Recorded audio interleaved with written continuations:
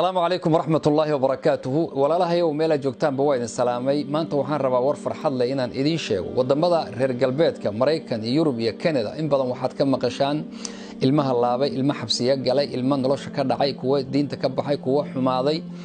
Laakiin dhinac kale marka laydinka tuso waxaan rabaa inaan idiin sheego wadankan dad badan oo wanaagsan baa jooga ee kaalimaha ugu horeeyana ka gala dhanka diiniga iyo dhanka maadiga labadaba. Waxaad u jeedeen maanta baraha bulshada runtii qabsaday wiilka la yidhaahdo axmed burhaan maxamed oo ah wiil yar oo dhallinyaro ah oo gobolka minnesota ku nool oo masaajidka abubakar sidiiq ku nool oo kaalinta koowaad ka galay tartankii dubay musaabaqada qur'aanu kariimka. Adduunka dhan uu isagu yimid buu lambar one wiilkaasi uu ka galay. Runtii taasi waxay u tahay sharaf wiilka naftiisa waxay sharaf u tahay reerkiisa iyo qoyskiisa. Waxay sharaf u tahay macalinkii wax soo baray macalin cabdinaasir nin qaari oo akhyaar ah. Runtii waxay sharaf u tahay masaajidka abubakar iyo culimadiisa macalimiintiisa.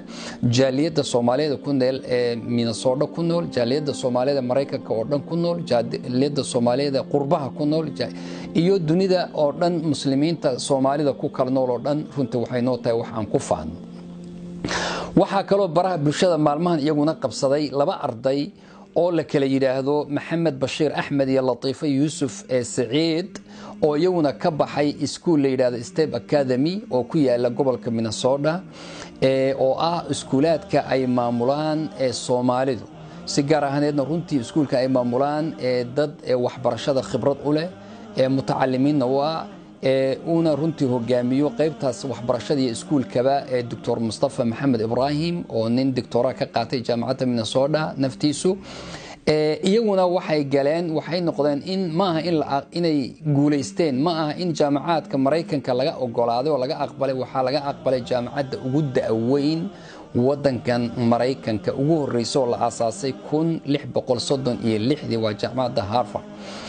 Jaamacaddaas haddaan wax yar idinka soo gudbiyo ee runtii waxaa la aasaasay xilli hore oo dii waxaa lagu tiriyaa jaamacaadka la yidhahda i v y league oo ah toddobada jaamacadood ama sideedda jaamacadood adduunka ugu sarreeya oo runtii kulligoodba maraykanka ku yaalla dabcan adduunkana kuwa ugu sarreeya waxaa ka baxay lix madaxweyne oo madaxweyneyaashii maraykanka ka mid ah. Waxaa ka baxay madaxweyneyaal kale oo adduunka iyaguna way ka baxeen. Sanadkan keliya waxaa damcay inay soo gudbiyey inay helaan oo qabuul ay ka helaan oo laga aqbalo afartan iyo laba kun toddoba boqol afartan iyo sagaal arday.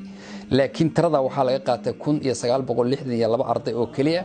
Sanadkii keliya waxaa lagu dhigtaa afartan iyo sideed kun sagaal ayaa lagu dhigtaa.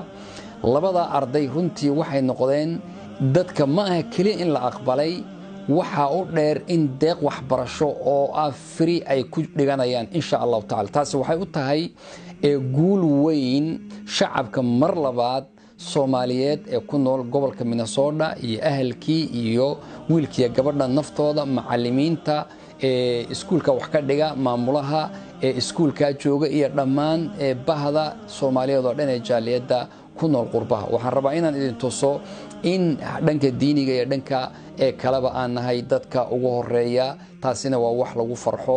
Intaa keliya ma ahee haddii aad aragtaan ardaydii tanzania tartanka qur'aanka ka galay kuwii yurub oo iyaguna tobanka hore ku jira jaa-isatu dubay in badan oo soomaaliya ayaa ku jira. Marka waa wax lagu farxo oo lagu faano ilaahay subxaana wa tacaala hanoo barakeeyo awlaadeenna iyo dadkeenna ee dhammaantood. Jazaakum allahu khayr wasalaamu calaykum waraxmat ullahi barakaatu